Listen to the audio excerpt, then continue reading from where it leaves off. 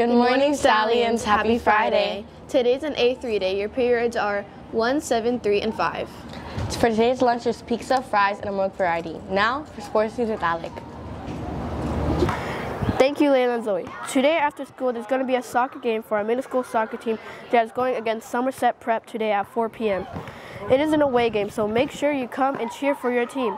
Also, the rosters are going to be outside of the boys' locker room for the volleyball and fo- flag football tryout. So make sure you come and check if you made the team. Back to you, Layla and Zoe. Thank you. Students, remember to buy your tickets to the fall dance. You can buy food and drinks there. Speaking about dances, I heard that a dance battle went down yesterday. Let's take a look at that.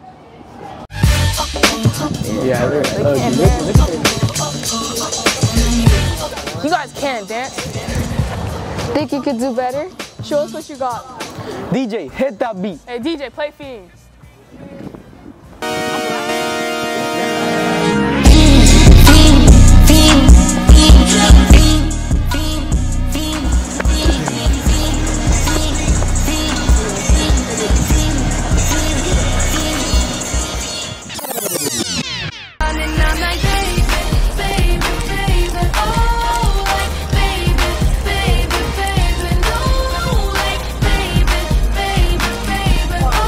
On, hold on, hold on. Let's settle this Friday, November 8th at the Fall Dance, 2.30 to 4.30. Be there. Alright, bet. I'm gonna get switchy. Mm.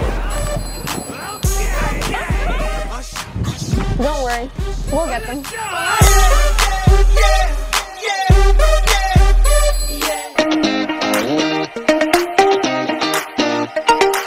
On November 18th, 8th grade class will have the first ever field trip of the year to Paradox Museum located in Wynwood. Paradox features over 70 illusion-based exhibitions that will challenge your sense of reality and provide unbelievable photos along the way. In order to take part of this fun, exciting field trip, make sure to pay for all your other obligations, including Busch Gardens field trip and Epcot. The final payment for Busch Gardens field tickets will be in your fees. Now back to Zoe and Lila for more news. Remember, students, there's no school next Monday due to Veterans Day. It's gonna be a long weekend, so make sure to stay safe. Thank you and have a stallion day. day.